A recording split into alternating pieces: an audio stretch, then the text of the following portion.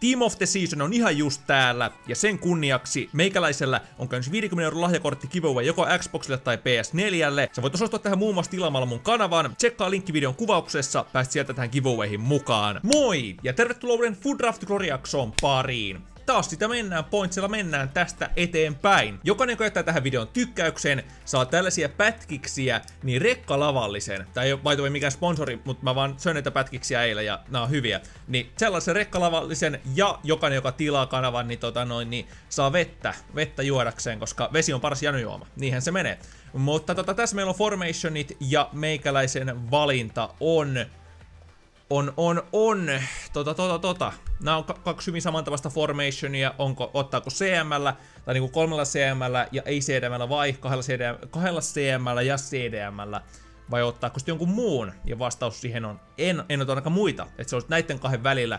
Viimeksi meillä oli tämä 442 flattia, tää, oli, tää on ihan yes formation kans, mutta on parempaakin tarjolla. Tai oikeastaan tää on kyllä draftis kova formation, koska laiturit on niinku draftissa jees, koska Messi ja Rolle ja Neymar sun muut. Mut siitä huolimatta, mä otan 4-3-1-2 nyt jotenkin omaa fiilistä näin tälle formationille. Kapteenia pöytää ja ei tuu mitään ihan, no ei nyt huonoja siis, ei todellakaan huonoja pelaajia, mutta lähinnä vaan, että niinku, e- ehkä kaikkein mielenkiintoisimpia. Otetaan kuitenkin Lewandowskin 92 rated informi tällä kertaa ja siihen viereen sitten Ai niin, Deep oli tää Striker Informi, no tää on ihan mielenkiintoinen. Ja siellä ei ole enää kahden tehdä, eikö, eikö täällä ollut pitkään mun mielestä kahden tehdä weak foottikin?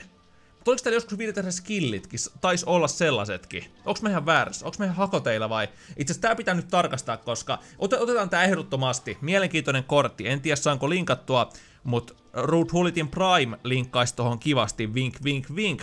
Mutta tää pitää nyt ihan pika pikaa tarkistaa. Eli mä nyt menen tänne Footheadiin ja tsekkaa Memphisin noita aiempia kortteja. Eli viime vuonna, ai niin, tästä Footheadista ei näe niitä kunnolla. Tää on, tää on hankala.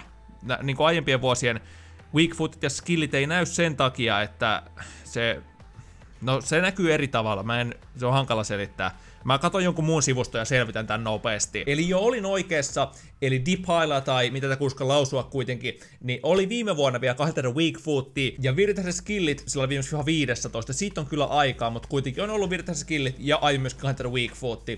Et nyt ei ole skillejä, mutta sitä 300 weak foot, minkä kanssa pystyy elämään. Se 200 weak foot, se vaan on tosi nihkeä, let's face it. Öö, täällä sitten No Meijer tuo varmaan linkin Lewandowskiin, mutta ei oikein mitään muuta sitten, ku, aha, itse asiassa tämähän toimii. Tämähän toimii muuten. Hollantilainen kaveri, joten linkkaa molempiin. Ei toki mikään paras tatsiensa puolesta heikko stamina ja näin, mutta no, valitaan nyt kuitenkin linkkaajana. Linkkaajana paremman puutteessa. Ei toki hajuakaan, että tuleeko noin avaukseen vai ei, mutta katsotaan, katsotaan, katsotaan. Täällä on Inform Wayne Rooneyta, Inform Manuel Fernandesia, mikä on ihan kova lappu kyllä statsia, mutta hankala, hankala linkata niin kuin Venäjän liiga ja Portugali. Ei ideaalit, ideaalit linkit. Otetaan Ruuni tällä kertaakin. Siis Ruuni, Ruuni toimii. Strikerina, CF-nä, Caminä, CM. Ainakin se synttäriversio. En mä tosta informistia niinkään, mutta katsotaan. Täällä on Arnoldia. Eikös täällä ollut kunnon longshotit? Kyllä. 87 longshots sekä shot power. Otetaan se saksalaista voimaa jos sattuu vaikka tarvimaan, kun meillä tuossa Bundesliga kuitenkin on.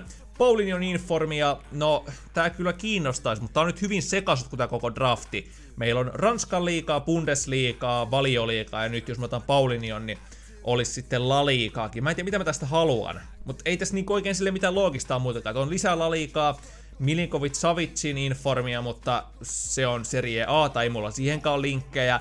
Ja valioliikaa, joo, valioliikaa mulla on ruuni, mutta tää King, King Ki Sung Yöng, miten tää kuuluu lausua? En mä osaa koreaa tai korealaisia nimiä, niin kuitenkin niin mä itse tällä kertaa tämän Korean Kingin valitsematta. Okei, Korean King on kyllä Hyungmin Son, mutta kuitenkin otetaan Paulinio. Tää on sen paras kortti vieläpä. Katsotaan mitä tästä tulee. Tähän mennessä aika sekas. Viimeiset pari draftia oli ihan huikeita niin sit vastapainoksi nyt tulee ehkä ihan hirveä drafti. Tai ehkä tämä vielä tästä hymyksi tai iloksi muuttuu, en kyllä tiedä. Otetaanko Colemania tänne, olisi ainakin vihreä linkki ruuniihin. Toki ei statsien puolesta mikään kaikkein paras, mutta otetaan se nyt, saadaan jotain niin kuin kunnollista linkkiä. Eka vihreä linkki tässä koko draftissa nimittäin. Tähän väliin vaihdetaan myöskin näiden paikkoja, nimittäin se on tosiaankin Chemistria plus Leval on parempi Weak Footti, niin to- toimisi siinäkin mielessä paremmin. LBnä myös muun muassa Maxia, Max, joka oli muun mun Team of the Season ennustuksessakin, Bundesliga siis totta kai. Sitten tuli video tossa, se löytyy nimellä suomalainen, 90 suomalainen Team of the Season ja kysymysmerkki. Niin jos se kiinnostaa, kannattaa mennä tsekkaamaan. Totta kai se ennustettu tots on Lukas Radetski ja sen totsia, mahdollista totsia odotellessa, se olisi kyllä fantastista. Mut joo, mä en, mä en kuitenkaan maksia tänne, mä otan ennemmin tämän Schultzin, koska hei, nopeampi ja defending ja physical molemmilla aika heikot, joten siinä mielessä aika se ja sama senkin puolesta. Joten joo, valitaan tosta noin, saadaan vähän toista vihreitä linkkejä tähän draftiin. Eka toppari, kuka tulee? Sokratis, Naldo, ainakin Bundesliigaa, sitten on Atspilikeettaa, Tiako Silvan informi kiinnostaisi joo, niin jos taisi testata mikä tää on miehiä, mutta ei mitkään ideaalit linkit. Et joo, Paulinio linkkaa, joo, mutta se on aika, aika hepponen linkki vielä toistaiseksi. Mutta sitten joku tyyli Naldo linkkaisi kans Paulinion. Ja ja ja, otetaanko me Naldo tästä näin vai Sokratis? Sokratis on ehkä pare, parempi in-game, on, on parempi in-game kyllä ihan, ihan selkeä. En mä tiedä, onko tuolla, tuolla Pauliniolla niin paljon asiaa meidän draftiin. Otetaan Sokratis, saadaankin kunnon toppari. Ja Sokratis muutenkin tulee niinku, ainakin mulla tosi harvoin draftit. Ei ole täällä tullut oikein yhtään pelattua. Vaikka kovat statsit on tällä mutta jotenkin se on vaan jäänyt niinku täysin unholaan. En, en ole tuolla oikein pelannut. Ja toinen toppari, Inform Cesar Atspilikeetta. No, helppo olla jälkiviisi, mutta tänne tuli Markinios, niin Markinios ja Diego Silva olisi ollut erittäin bueno, mutta en mä voinut tietää, että Markinios tulee heti seuraavasta. Ja jos mä sanoin Tieko Sirvan, musta tuntuu, että se olisi tullut edes niinku ylipäätänsä tarjolle. No, oli miten oli. Nyt me otetaan tänne varmaan tää Inform Atspi, vai? On, on tää kuitenkin loistava toppari. Kyllä, öö, eihän Kosielnika, joo, ei, ei nauta sen enempää eikä Matipka. Niin Atspiliketta, siitä niin. Ja sitten Veskaa, ei tuu Teheaa tähän, mutta tulee Zieleriä. Zieler on Bundesliga-vaihtoehto, Six Foot 2, ei mikään ideaalit, tai siis niinku, ei mikään paras veska. Ihan ok kuitenkin varmaan. Ja sitten on Spanskeja, on, on Riko muun muassa, mikä linkkaisi Atspili Keettaan. Ehkä Riko on parempi. 83 chemistry ja 83, eli se ei vaikuta mitenkään, niin valitaan Riko ennemmin. Se on, se on vähän parempi veska mun mielestä. Ja seuraava valinta vaan uunista ulos. Thomas Müller ja Dele Alli ja Maxia tarjoaa uudelleen, ja Jarmo Lenkkoa myöskin. Ei, ei oikein jeesaa tässä, kun on RV, tai menisi se CM oikeastaan ihan okosti ehkä jopa, mutta en mä, mä tiedä. Mites joku muu? Deleali.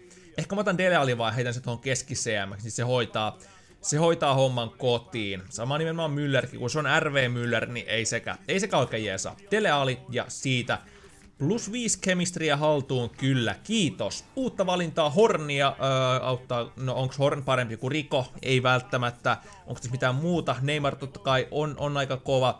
Ross Barkley on superlinkkiä ruuniihin, mutta sitten taas toi Memphis ei sen jälkeen linkkaisi enää. Mut musta tuntuu, että Barkley olisi ehkä hyödyllisin tästä kuitenkin. Joten, jotenkin vaan fiilis, että kyllä se on niinku järkevin näistä. Joo, ot otetaan Ross Barkley. Neymar totta kai kova lappu, mutta kyllä näitä supersapeja vielä tulee uudestaankin. Tätä tulee Lukaku, ja jos mä nyt laittaisin niin kuin Barkleyin Kämiksi, Ruunin keski CM, Dele oli oikeassa, Lukaku Strikeri, Kemikaketti paranis aika paljonkin, mitä muuta tässä on, Mata, Rosia, Tiako, vai olisiko sittenkin Tiako tästä? En mä kyllä tiedä. No se kyllä... No joo, se tois nyt Kemia esim. Lewandowskille, vaihtaisin niin kuin Tiakon Arnoldin tilalle, mutta jos mä tekisin sen Bundesliga-jutun, niin sit se, äh, sen valioliiga-jutun se ei taas auttaisi. Otetaan Lukaku tosta noin. Inform Lukaku 88 pelaaja, kova sälli, ja nyt jos tekee tämän, on sama chemistry, sitten Barkley tohon, ja noin 94, joo, onks toi, toi vielä plus 1. Joo, tehdään tollanen vielä. Vai, vai, vai, vai. Mä en tiedä, onko tää Barkley oikein kovinkaan hyvä cm Niin kuin Dele oli jos... No joo. No pidetään tolle nyt alustavasti, mutta mietitään vielä. Mietitään vielä, nyt meillä on tämmönen Bundesliga, Valioliiga ja Laliga Veska siihen päälle. Otetaan tänne kanavan legenda Perin harmaa hiuksi. Ja vika reservipelaaja tulee tässä, Eden Hazardin RV-korttia, Toty Kanea, sieltä se tulee, sieltä se tulee. Kemin boostaaja ja muutenkin mahtava hyökkääjä. Leva ja Kane, meillä on nyt kaksi maalitykkiä tässä draftissa, ei hassumpaa. Eli nyt on 98 chemistry, aika kova, aika kova. Veskaksi David Hea vielä, niin se olisi full chemi ja parempi Veska myöskin. kyllä tästä niinku, alku oli ihan yhtä sekasotkoa, mutta kyllä tästä pikkuhiljaa. Ja mä tarvitsen myöskin vaihto CMiä. Dehea ei saada. Jack Butler tulee, mutta se ei auta kemistriä. Kuka näistä ei auta? 90 rated Handanovic, no, no se menee tyyliin silleen, että jos niinku Riko on ihan hirveä maalissa, niin subaa sitten Handan tilalle. En mä usko, että joudutaan siihen turvautumaan, mutta on se vaihtoehto. Otetaan siis Handa tosta noin. Eka vaihtopuolustaja LB Baileyä, mut ei. Ei oteta sitä. Ei oteta sitä tällä kertaa. Otetaan ihan Kyle Walk vai auttaako Alderweireld? Öö, jos mä, öö, no se, se sitten taas on sen verran huonompi kuin Atspi mun mielestä. Te tiedätte, mä en ole mikään tämän kortin fani. Tai ainakin mä puhun, en mä tiedä tiettekö, mutta ainakin puhunut tästä aikaisemminkin. Otetaan Walker, selkeästi parempi RP, ja tollanen vaan yksinkertaisesti. Ja mitä sitten tähän? Erkkiniä, Milneriä, joo joo joo, bla bla bla. Otetaan tähän se silmät kiinni valta, mikä mä joka draftissa yleisesti ainakin pyrin, pyrin tekemään, eli tästä, tuliskohan Milneriä? Mä en koskaan veikkaa oikein, enkä tälläkään kertaa tulee Basta, ihan Basta pelaaja. Sitten eka keskikenttä, Isko Disco, David Silvan, RM-korttia, Dembele, Valero. Öö, no, ehkä Isko on näistä paras vaihto, vaihtopelaaja mielessä, tai Dembelekin oikeastaan, mutta otetaan kuitenkin Isko. Joo, True Parsa... Öö, True Parsa-fani valitsee Iskon, bla bla bla. No kuitenkin, Blaze Matuidi ja Müllerin Man of the Matchia, okei. Okay. Ei se kyllä kemia tois. Mutta se olisi parempi kuin Arnold kyllä mun mielestä in-game. Niin kuin enemmän, enemmän pitäisi sitä cm kuin Arnold. Jotenkin Arnold ei vaan nappaa tossa CM-tontilla. Et Müller 7 kemillä, ei se kai siinä huono olisi. Mites Ilkei, Gündogan, Matic, ei nää oikein kiinnosta. Mua kiinnostaa tää Müller. Otetaan siis Müller ja se tohon noin, on se miinus neljä, se on kyllä... Se on kyllä semmi paljon kemin vähennystä, mutta... Niin. Eikö täällä ole kuitenkin Weak neljä tähteä? Kyllä. Toimii senkin puolesta Arnoldilla, kolme Weak Foot, mutta se on vasuri. Mutta kyllä mä jotenkin, Müllerillähän on kova stamina ja kaikkea, on 93 stamina. Kyllä mä kokeillaan tänään Mülleriä CM. Onko se OP siinä? En tiedä, testis tänään. Ja tästä tulee meidän Supersap hyökkääjä kautta Cam, eli 94 Hazard, kelpaa, kelpaa, kelpaa. Sinne toisen belgialaisen Lukakun kanssa penkkiä, penkkiä lämmittämään. Varmasti pääsee myöskin kentälle tulevaisuuteen, tai siis niin kuin jossain vaiheessa. Ja tänne tulee Otamendia. Mites Otamendi Kemin kannalta ei ole fiksu, koska meillä on toi Riko maalissa. Otetaan sitten Otamendi vaan ratingin puolesta, mutta saa pysytellä penkillä. Eli 94 Chemistry saatais varmaan Full Chemi Managerin kanssa jos mä laittaisin tota noin, sen Arnoldin, ehkä mä laitan sen alkuun ja sit muokataan peli, tai silleen niinku, että tallennettaisiin tää camel, jos vaan mahdollista, ja sit, sit vasta sit vasta, sit vasta tehtäisiin meidän kikkamme, eli joo, ei tästä rating tarina nousta. Ehkä yhdellä saattaa noustakin vielä. Ei nouse. Okei, okay, ei mitään. No, otetaan silti se, eli pistetään Arnold valmiiksi. Ja sitten kun mä managerin valinnut, mä vaihdan niinku takaisin, tiettekö. Varmaan ymmärsitte, vaikka ei ole mitään väliä siinä mielessä, mutta jotenkin vaan näyttää hienommalta. Nyt on full ainakin tällä. Boostaisi Riko ja Atspilike tai hassumpaa. Taitaa olla muuten. Tää boostaisi ottaa myll Mülleriä, mutta en, en mä sit tiedä. Otetaan, otetaan toi Spanski, to, no, no ihan sama kumma näistä ottaa. Otetaan silti Edu Ano. Tost noin, valittu. Kyllä kiitos. 187 tiimi, ihan ok, ei mikään mun paras draft-luomus ikinä, mutta kyllä tällä kuitenkin pelailee, ja nyt sitten Müller takaisin. Eli joo, en tiedä sitten Barkleysta cm että ehkä vaihdan aika nopeastikin Paulinio siihen tilalle, mutta annetaan nyt Barkleylle kuitenkin chanssi siinä. Samoin Dele Ali ihan hirveästi niin kuin innosta, että Edenille voi olla nopeasti myöskin kutsu avaukseen. Mutta katsotaan. Kaksi maalitykkiä Leva ja Kane kärjessä. Niiltä odotan paljon.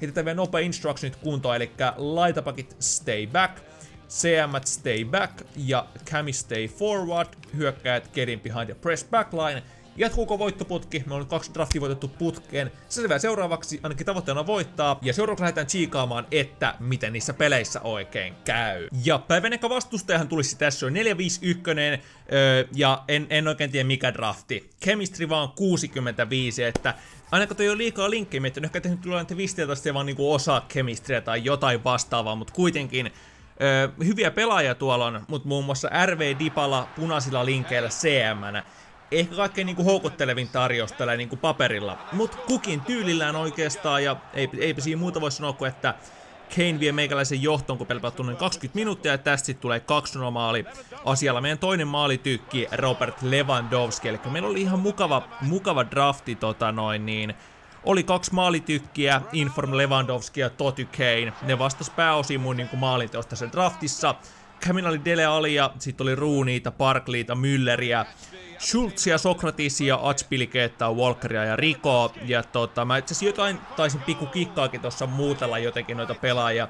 Mutta mä en ole ihan täysin varma miten mä tein, koska mä näin nyt enää vaan tuon mun avauksen, tai siis silleen niin kun kun tota, no, niin mä menin claimaamaan noin mun palkinnot tässä näin. Mä selitän, sit kun tää gameplay on päättynyt, miksi mä claimasin mun palkinnot. Mä en siis avannut niitä tietenkään, että niin mä avataan tässä niin ihan normi, normisti palkinnot, mutta kuitenkin claimasin ne, että pääsin niin uutta, no oikeastaan mä sitten tässä samallakin, eli tota noin niin, Mulla ei nyt tullut niin paljon videoita, se johtuu edelleen mun niinku kurkun ongelmista, sitä edelleen niinku setellä mikä siinä on vikana ja tälle.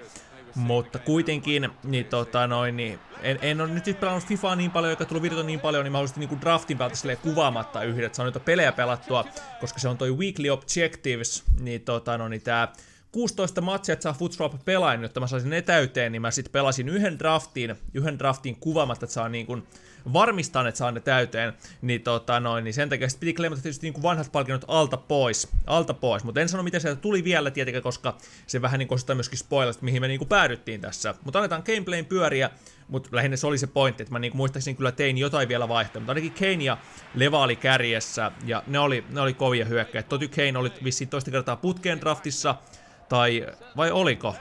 Jotenkin mulla on fiilis, että mulla on ainakin lähekannut pari kertaa Toty Kane. Mut joo, joka tapauksessa, niin tota noin, niin tässä näitä maaleja, maaleja tulee. Maaleja tulee minkä kerkee, ja tota, seuraava maali on tässä, Robert Lewandowski jälleen kerran iskiänä, ollaanko me nyt tässä tokassa pelissä, taidetaan olla. Ja toka vai kolmas peli? Toka oletettavasti. Ja tuota, sama meno jatkuu. Nämä kaksi kaveria vaan niinku tykkää tehdä maaleja. Siinä ne on parhaita. Eli leva hyörii ja pyörii ja bang. Loistava veto. Yllättää maalivahdia se on 3-0. Kaunista. Kaunista katseltavaa. Ja tota noin, niin siinä sitten kuitenkin sähläille vähän typerä purku, en oikein keskittynyt ekan puolella lopulla ja toista pääsee kaventamaan kolmeen yhteen. Täysin menee mun piikkiin maalle, tollisia pitäisi vaan niin yksinkertaisesti päästä, että oli tilanne mikä tahansa ja näin, niin äh, toi on vaan niinku typeryyttä. Mutta kuitenkin siinä ekan puolella loppuun neljän yhteen kuitenkin onnistun lisäämään meidän johto, että tavallaan niinku otin sen mun aiemman mokan takaisin ja myöskin tolla käy pieni moka, eli syöttää veskalla vähän tyhmästi ja siinä sitten pelaan Hazardille niin muuta, nyt mä muistan. Eli niin Dele oli ollut, mä venän mä sen kuvan tosta tiimistä. Dele oli oli käminä, Barkley ja Rooney CM, mitä mä tein pelin alussa, mä taisin draftia tehdä tästä, mutta sitten muutama päivä aikaa, kun mä kuvasin draftin teon, niin kuitenkin mä swappasin, että mä otin niinku Barkleyn pois kentältä, tiputin Dele Allin CMX ja supasin Hazardia Camiksi, joo, se oli se muutos, mikä mä tein tuossa alussa, kun muistit, jotain vaihtoa mä tein, eli joo. Ja tota, tokasta pelistä josta siis toka peli, kyllä vain otettiin aika, aika selkeä Rage Quit voitto, että ei ongelmaa. Edettiin kohti välierää vastas Toti Rollee, Crespon Primea, Salahin 91 informia, eli tosi kova hyökkäys. Eikä keskikenttäkaan Pekkaa Pahvi Bakayoko, Toty Kante sekä Inform Casemiro, Synttäri Bailey ja. Oli Edersonia ja Bellerinia myöskin ja tällaista 89 tiimiä, että niinku oli tähän mennessä vissiin kovin tiimi vastassa. Tai ehkä se eka tiimi oli paras, se vähän ehkä auto chemistrin poista. Okei, jos ihan puhtaasti pelaistolta mietitään, niin se saattaa olla jopa kovempi kuin toi. Siinä siinä. Mutta kun otetaan kaikki chemistry ja nää huomioon, niin ehkä ei kuitenkaan. Mutta joo, välierä-pelissä mekin korttiin eka tavallaan semmonen vähän parempi pelaaja tässä näin. Eli meni kyllä johtoon, mutta toisesti tasoittaa, tasoittaa kuitenkin yhteen yhteen ja sitten Salah, Salah on läpi. Ja kun Salah on läpi, sitä ei helposti enää kiinni saa. Tai ei, ei, ei oikeastaan saa kiinni yksinkertaisesti. Et se on niin vikkelä kaveri. Ja Salah sitten myöskin onnistuu, onnistuu viimeistelemään. Tästä tulee kuitenkin tasotus, eli se on tätä Belgian puolelta perus viimeistely kahteen kahteen. Ja Gangnam Stylet, mikäpä muukaan tuuletus siihen päälle sitten sopisi. Mut joo, toi tota, no, niin menee uudestaan johtoon, eli sieltä se löytää Neymarin, Neymarilla on tilaa pelaa Eriksenille, Eriksen ampuu ykkösellä. Sillä Viideter Weakfootilla kelpaa, kelpaa viimeistellä. Taas mä tasotan tästä kunnon niinku kissa hirrileikkiä. Eli kaunis viimeistely Kaneilta. Kanein veto vaan yksinkertaisesti on ton Toty Kanein niinku paras ominaisuus mun mielestä ainakin. Ja onnistuminen mä jopa johtoonkin. Eli Kane jälleen kerran aika paikoiltaan, ei niinku hirveästi vauhtia ollut, niin vas vasurilla loistava viimeistely. Mutta toi tulee tasoihin. Ei vaan, ei vaan millään tota pystytä pitämään johtoa. Siinä mä taklasinkin, mä en tiedä miten mä saanut palloa pois tuossa taklis. Jotenkin se animaatio meni oudosti. Neymar tuota viimeistellä mentiin jatkoajalle ja toi menee sitten kulmasta jatkoajan heti alussa. Alussa johtoon ja tu, tu, tota noin, lisää johtoon sitten kahteen maaliin. Järkyttävää puolustamista. Joudut vähän riskejäkin tässä, että oli niin ultra ja sun muuta. Ja se sitten on niin puolustus aika avoinna ja näin. No, peli ei ole vielä menetetty missään nimessä, vaan Lukoku kaventaa Lukaku kaventaa viiteen kuuteen, mutta oikeastaan kyllä se peli oli jo menetetty, nimittäin ihan lopulla toi sitten vielä toista vielä viimeistelee. Mä siellä koitan tehdä kaikkeni, mutta ei voi vähänkään pallopomppia mulle, vaikka sinänsä sama, sinänsä se on sama, että olisiko tullut maalia vai ei, mutta tuli kuitenkin vielä 7-5 maalia. Otetaan tästä häviö.